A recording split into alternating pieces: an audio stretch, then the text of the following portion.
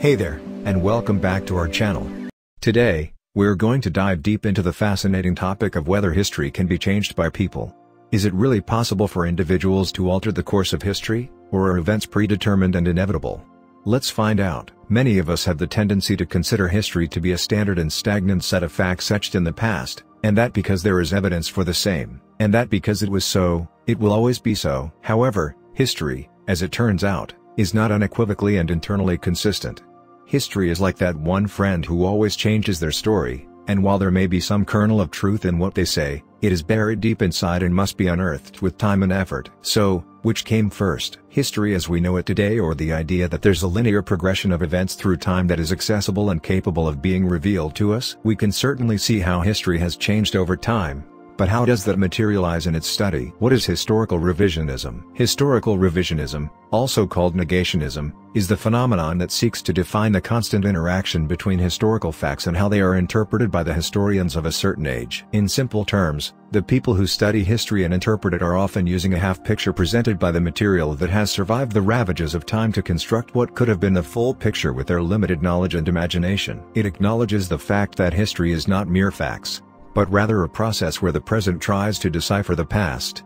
Within this process, there are sublevels of integration and disintegration of perceived events and the various factors that may have caused them or played a part in their occurrence. It even allows for contradictory interpretations of the same incidents due to ambiguity in available documentary or archaeological evidence. For example, until the finding of the Rosetta Stone, a stele holding a decree in the ancient Egyptian and Greek scripts, found in 1799, Egyptian hieroglyphics were largely undeciphered and therefore, overlooked.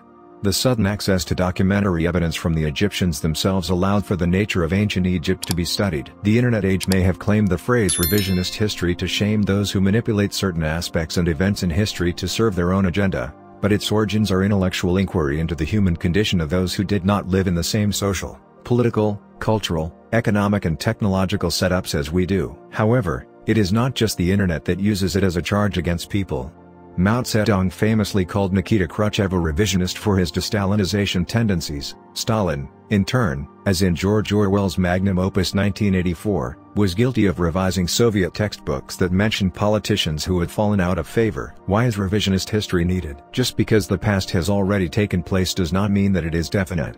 We may have some limited sources to peek into the lives of those who lived before us, some texts survived, However, they usually did not document the daily lives of ordinary citizens, and failed to give the contextual knowledge necessary to reconstruct past societies, which would have been obvious to those who lived in them, but not us. But these are by no means sufficient.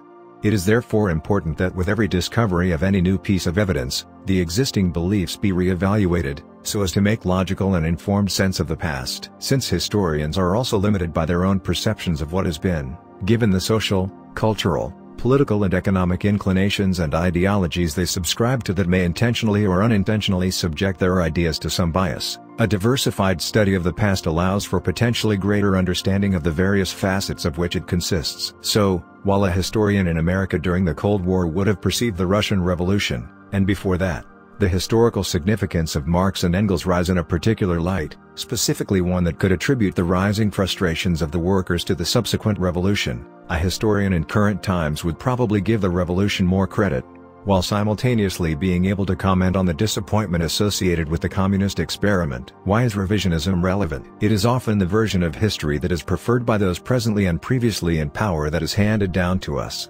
Certain facts are left undocumented, omitted, not brought to the front stage or revised to suit the narratives of the people dictating them. It is not in vain that they say that history is written by the victors. Even changing the names of places is an attempt to revise the origins of its settlers and their history.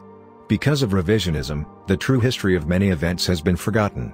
When we forget history, however, we risk repeating earlier mistakes. There is also a certain omnipotence surrounding revisionism.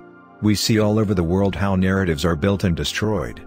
Historical revisionism allows us to be aware of the fact that knowledge of the past is being manipulated in order to shape opinions and obtain considerations that may be politically significant and unapparent. The denial of genocides by those who are considered to be the perpetrators of those genocides, for example, allows us to see how history is revised to absolve a guilty party of culpability. A final word. The conclusions that can be derived from open-ended information are often painted by the person making them, Which is why even though historical revisionism is a tool for achieving academic understanding, it may also be driven by ulterior motives. Revisionism encourages a new way of looking at the past and helps us gain a more accurate understanding of how events occurred and why they happened, but it can be a double-edged sword of which we all must be aware. That's all for today's video. We hope you enjoyed exploring the question of whether history can be changed by people. While it may be tempting to believe that our actions are inconsequential in the grand scheme of things, history has shown us time and time again. So, go out there and make your mark on the world, you never know what kind of impact you might have. Don't forget to subscribe to our channel for more thought-provoking content. Thanks for watching, and we'll see you next time.